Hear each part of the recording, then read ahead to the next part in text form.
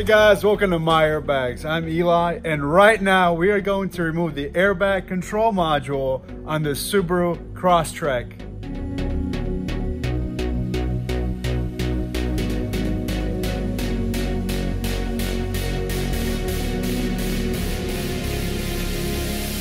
On the Subaru Crosstrek, these are the tools we're using.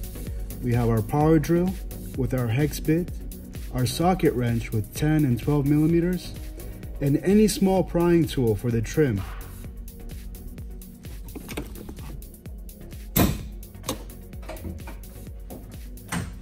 Now, anytime we work with the airbag system, whether it's the module, the seatbelt, or the airbag itself, we always want to disconnect the battery first. Now, the battery is right over here. We're going to use our 10 millimeter socket to loosen up the negative side here. Just loosen it up just enough so you can twist this right off and put it completely to the side. Over here on our positive side, we're gonna do the same thing and put it completely to the side. And as a precaution, I even recommend to go ahead and put something over the contacts. That way, while we're working with the airbag system, there's no possible way these can come back and make contact with the battery.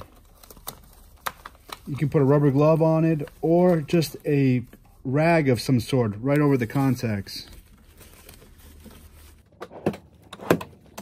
Now the first thing we want to do when we get right inside the car is start working right on the center console. First thing we're going to do is start working on the knob and the shift. We want to get the shift into neutral. And if you notice, I have my e-brake on already. So right back over here, we're going to use a little pry tool that I have here. You can use a little flathead, something that you can get right into here with and lift up this little plastic cover piece right here. Next, you want to go ahead and grab your Phillips or anything pointy, even a pen or a pencil will do, or uh, in this case, I'm just using this tool here. You want to press right into there and you feel depress a little bit when you push in. And when you feel that, you can go ahead and grab the handle here and pull down and put it right into neutral. Next, I'm going to grab this little prying tool here. You can use a flathead, anything that will get right in between this little crease right here. If you look on the side down here, you can go ahead and just put your tool right in there and basically separate this part from the handle. Once you got that piece down, right over here in front, you have this little ring right here that will come right out. You want to get your little pry tool right in there. You can even use your fingers to get it, pry it right out. But basically you want to pull this piece out right over here. This is what it looks like. Once you have this piece out, the whole handle will come right out. Next, we want to go ahead and start working up this whole middle center console here. You can use a flathead or a nice smooth prying edge like this, something that won't leave any marks on your center console. You're gonna get right in here and start prying this up right here. And you'll notice it will start popping off. There's little tabs. There's some clips that hold it down.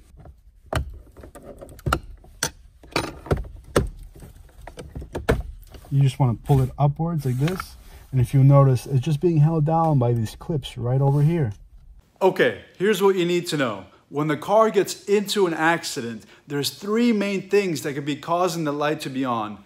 The airbags, the airbag computer module, and the seat belts. Any deployed airbags must be replaced with new airbags. You can buy a new airbag module. The problem is they cost up to a few hundred dollars, Plus, you have to pay a dealership technician to go in and program it to your car. In other words, you have to marry the new unit to your car. Here at myairbags.com, we work closely with body shops, collision shops, and salvage rebuilders in all 50 states.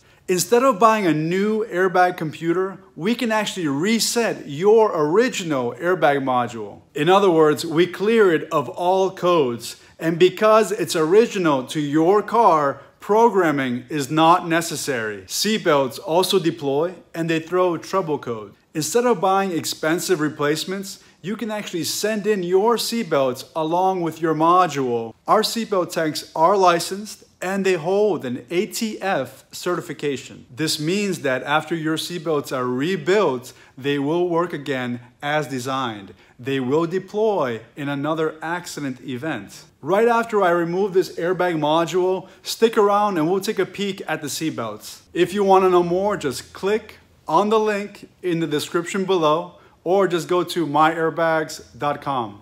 Next, grab your Phillips bit and I'm going to put it on my power drill here. And I have two screws right over here. Next, I'm to come back to my flathead here and I'm to start working this crease right over here.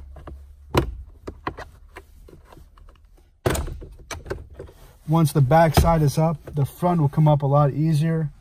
And you just want to gently put some pressure on the bottom side of this and you'll notice the clips along the sides will come popping right up. Just want to work it back and forth. And right under here, we have this little plug here. And right down here, you just want to squeeze on this little button here. Squeeze on it and pull.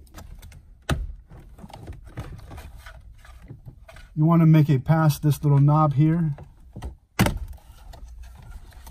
And then once you have it right about here, use your hand from underneath to get leverage and push upwards. Back to the Phillips bit here. We're going to go ahead and start unscrewing these screws right here.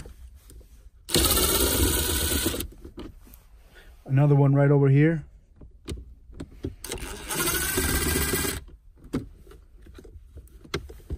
Then I have another one right here.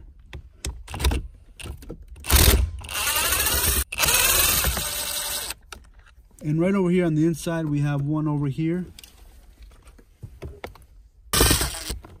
And then we have another one right on the inside here. So everything else is being held down by clips and tabs at this point. So we're basically going to start right over here on these sides here. And we're just going to go ahead and start unclipping everything. The same thing on this side as well.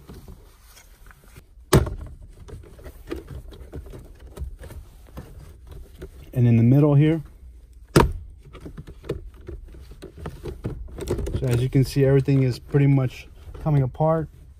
We're going to do the same thing on the sides here. Just pull this right off. And now there's the driver's side. And we're going to do the same thing on the passenger side. Go ahead and just push away. And then you may want to even pull it towards yourself. And now this is the passenger side. Back to the Phillips bit, we want to go ahead and get to this screw right over here and the other one here on the driver's side. Now we want to go ahead and take out this piece right here. It's connected to the back by tabs and clips. Get a nice good grip on the front here and pull towards yourself. Just like that. And at this point you can see that the climate control will want to come with it as you take it off. But we actually don't need the climate control off. We can just go ahead and separate the two. They're being held down by these clips right over here. And we can leave the climate control right where it is, just like that. And we're gonna go ahead and take this piece off. Now in the back, there's just a plug that we need to unplug. And there's basically a little button on the inside of it that you can't see from your angle, but from the inside, you'll feel it and you can just squeeze it and pull. At this point, we can clearly see the module right there. You can tell by its yellow neon plug right over here. It's really important at this point that we have no power going into the car. There's no battery connected to the car. The proper procedure to disconnect the module is to go ahead and disconnect the battery, then the plug, and then the bolts holding it down. Make sure you go in the right order, otherwise you do risk deploying your airbags and seatbelts. We don't want that to happen. We're going to go ahead and grab it right over here. A little button in here. You want to press down on it, and while you're pressing down on it, go ahead and pull the lever out and then the whole plug will come right out. Next, go ahead and grab your 12 millimeter socket. We're going to start using it to go ahead and pull up three bolts. The first one is right up front here. And then the last two are in the back, one on this corner and one on this corner here. Now this is what the module looks like on most newer Subarus if your car was in an accident, dealerships may tell you that there's no way to go ahead and reuse the same unit again. They'll tell you you need to replace it. They'll want to sell you a brand new one. Here at myairbags.com, we can actually reset the original module, the one that was in your car during the accident. You can send it to us and we can reset it within 24 hours and ship it right back to you. Collision shops, body shops, and automotive professionals all across the US have been using myairbags.com to reset the original module. On each reset, they save hundreds of dollars over buying brand new from the dealership. The reset service is a fraction of the cost of what these cost brand new at the dealership. Now, along with the airbag module, we can also professionally rebuild your seatbelts. Most of the customers that use us, they do send in their seatbelts along with the airbag module together in one shot. So if you're a body shop, a collision shop, or someone who deals with salvage vehicles, you already know that after an accident, the seatbelts will lock up and they'll deploy and they'll throw codes letting you know that you need to replace them. Here at myairbags.com, we can actually professionally rebuild the seatbelts that are in the car. Once you get them back from us, they are professionally rebuilt and they will work again just as originally designed. So we're gonna take a brief look at how the seatbelt is set up in this car we want to get right into the seatbelt pretensioner, which is right on the side pillar here. But to get to the side, we have to lift up the panel that runs right underneath the foot panel right over here. So we're going to want to get right in between here. You can use a little flat bar or a flat head. I'm just to use my hand to get right between the carpeting here and just start prying this foot panel right up. And it's being held down by some clips. Once you have this part lifted up, you can go ahead and start working on the side panel here and you want to go ahead and just pull it grab it and just pull it away from the pillar we're going to continue right up the side here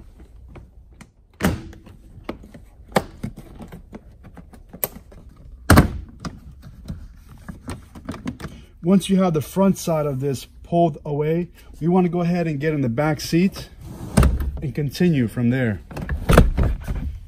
now, just like in the front, we want to go ahead and do the same thing we did with the foot panel here. Just go ahead and lift it up.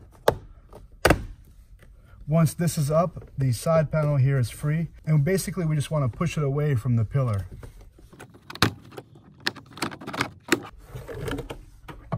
Now we have a really clear view of the seatbelt pretensioner right here. This is the main seatbelt housing right here. This is where the seatbelt rolls into. And this part here deploys. It pulls the seatbelt in, it locks up, and it will throw codes letting you know to go ahead and replace the seatbelt or you can go ahead and get a professionally rebuilt here at myairbags.com. Now, different years, makes, and models have different types of seatbelts. Here on this car, this car has a triple stage seatbelt. That means there's three parts that deploy. And you can tell by counting the plugs on them. The plugs on this one, there's two up here the yellow and orange plug right up there. This plug over here, the yellow and black plug right here with the little bluish tint wire right here. This plug right here is actually connected to this one up here. So you don't have to count that one. The third one, however, it's called an anchor tensioner. If you follow the seatbelt into the floor here, you can pull this back. And right down here, you'll see another plug right there, that yellow plug that looks just like the other ones we saw up there. You also notice on this, it has a long cylinder-shaped tube right there, that silver tube that runs parallel to the side of the car, right there. It's all connected in one piece, right where that yellow plug connects. That's all one piece right there. And it connects right here, it runs up, here, and right back down into the main part right here. Now this is the passenger side. Now the driver's side will be set up just the same. If you want to go ahead and remove the seatbelt, First, you would make sure the battery is disconnected, no power going into the seatbelts. Then you want to go ahead and disconnect the plugs. You want to unclip these plugs and disconnect them. There's one here, and then there's a two up here. You want to make sure you disconnect those plugs first. Then onto the hardware. There's a big bolt right down there that you want to go ahead and unscrew. Then if you follow the seatbelt up, right up into here, there's going to be another bolt holding this mounting bracket right in place. You want to go ahead and disconnect that part. Then the seatbelt will run back down. Right over here, you want to go ahead and take that off right there. And then lastly, this part right here. After you have removed the deployed seatbelts on the driver and passenger side, you can go ahead and put them inside of a box along with your airbag module. Next, go to myairbags.com, select your year, make, and model, and then add the parts to the car that you would like to have serviced. Next, just fill out your information, check out. Once you've successfully paid and checked out, you can print out the confirmation barcode and put it right inside the box with your parts. No printer, no problem. You can go ahead and write out your name, address, phone number, and email address, and then just place that information inside the box with your parts. Once we receive the parts here at myairbags.com, we'll process the order, we'll service your parts, We'll ship it out to you within 24 hours. Everything we service comes with a warranty. Hey guys, if you're sitting there with a question in mind, go to myairbags.com and click on help. On there, you can type in a keyword or a question, and most likely the right answer will pop up right for you. If it doesn't, we're always here on the phones. You can email us, chat with us, or you can even just text us. We're always here to help you, myairbags.com. Now's the time to give us a big like, subscribe to our channel. We have more videos just like this. Comment. I really enjoy reading your comments. This is Eli with myairbags.com. Save time and money on your next project.